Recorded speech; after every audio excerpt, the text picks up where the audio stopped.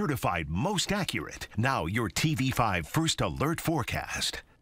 I'm First Alert meteorologist Mathieu Mondro with your Monday afternoon update. Going through the rest of today, going to be pretty comfortable. We have sunny skies out there now, but we are expecting a handful more clouds to start to move back in. Most of these just high level clouds, but it is going to at least obscure the sky just a little bit, especially compared to the weekend. But overall, still partly cloudy in Flint for the rest of today. Temperatures lower to middle 80s. That wind will start to shift more to the northeast. Wind speeds at 5 to 15 miles per hour. If you're heading to any Juneteenth events this afternoon, especially anything that's outdoors, the weather certainly is working out for that that. 85 expected in Flint officially, 84 for Saginaw this afternoon, 83 for Bay City and Midland. Notice closer to the water, some lower 70s just because of that wind coming right off of Lake Huron, but overall still some pretty nice mid-June weather as we go through today. We're also still tracking some hazy skies with the wildfire smoke moving in from Canada. That northeast wind is still persisting, keeping that smoke right through here. Once we head into the later parts of Tuesday, even Tuesday night and into Wednesday, we're seeing some signs that the smoke could thin out just a little bit more. This is something that we are going to watch towards the middle of this week, but the smoke is still bringing some slightly lower air quality,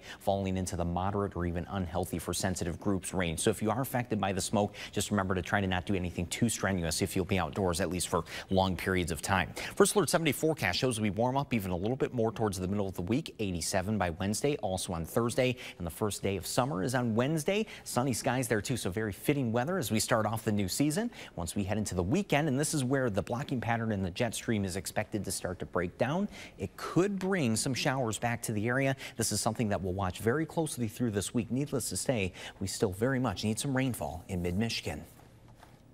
Stay with WNEM TV5 on air, on the go, and online for more news and weather updates.